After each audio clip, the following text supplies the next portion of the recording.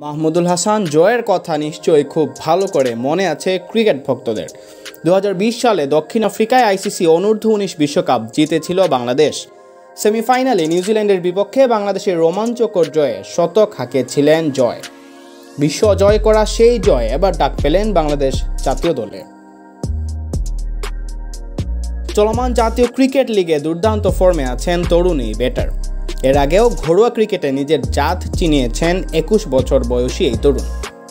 তবে এখন যেন ফর্মের তুঙ্গে রয়েছেন। চট্টগ্রাম বিভাগের হয়ে ওয়ান ডাউনে নেমে নিয়মিত পাচ্ছেন রানের দেখা। ঢাকা মেট্রোর বিপক্ষে একশো বারো ও বরিশাল বিভাগের বিপক্ষে একশো একুশ রান করা জয় চলমান ষষ্ঠ ও শেষ রাউন্ডের খেলায়। ঢাকা মেট্রোর বিপক্ষে আবারও খেলেছেন তিরাশি রানের ঝলমলেক ইনিংস। এবার মাত্র সতেরো রানের জন্য শতকের দেখা পাননি, তবে জয় পেয়েছেন সবচেয়ে বড় সুখবরটি। পাকিস্তানের বিপক্ষে চট্টগ্রাম টেস্টের দলে ডাক পেয়েছেন চাঁদপুরের এই ক্রিকেটার। অনূর্ধ্ব উনিশ বিশ্বকাপ জয়ী এই ক্রিকেটার এবারই প্রথম জাতীয় দলে সুযোগ পেলেন।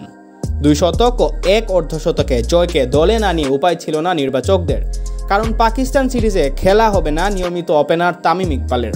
অন্যান্য ব্যাটাররাও তেমন ফর্মে নেই, এমনকি শঙ্কা আছে সাকিব আল হাসানকে নিয়েও।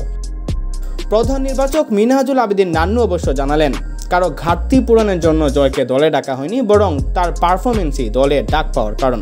তিনি বলেন, মাহমুদুল হাসান জয়ের জন্য হয়তো একটু তাড়াতাড়ি হলো, তবে সে ফর্মে আছে। আমরা ইনফর্ম পারফর্মার হিসেবে তাকে টেস্টের বিবেচনায় এনেছি। আর সবচেয়ে বড় কথা, এরই মধ্যে সে দীর্ঘ পরিসরের ক্রিকেটে খুব ভালো টেম্পারমেন্ট দেখিয়েছে। জয়ের মতো চট্টগ্রাম টেস্টের দলে নতুন মুখ হিসেবে ডাক পেয়েছেন সিলেটের পেসার রেজাউর রহমান রাজা। নান্নু জানান, তাসকিন আহমেদ ও শরীফুল ইসলাম চোটে পড়ায় রাজাকে দলে নেওয়া হয়েছে। নান্নু বলেন, দুই ফাস্ট বোলার তাসকিন ও শরীফুল ইঞ্জুরিতে পড়েছে, তাই তাদের বিকল্প হিসেবে আসলে রাজাকে দলে নেওয়া হয়েছে। আমরা রাজাকে ভালো করে যাচাই করেছি। সে বেশ শক্ত সামর্থ্য, ভালো প্রাণশক্তির অধিকারী আর উইকেট নেওয়ার প্রবণতাও বেশ ভালো। মুমিনুল হকের নেতৃত্বাধীন টেস্ট স্কোয়াডে জয় ও রাজা ছাড়াও আছেন সাদমান ইসলাম, সাইফ হাসান, নাজমুল হোসেন শান্ত, মুশফিকুর রহিম, লিটন দাস, নুরুল হাসান সোহান, মেহেদি হাসান মিরাজ, নাইম হাসান, তাইজুল ইসলাম, এবাদত হোসেন, আবু জায়দ রাহি, ইয়াসির আলী চৌধুরী রাব্বি ও সাকিব আল হাসান।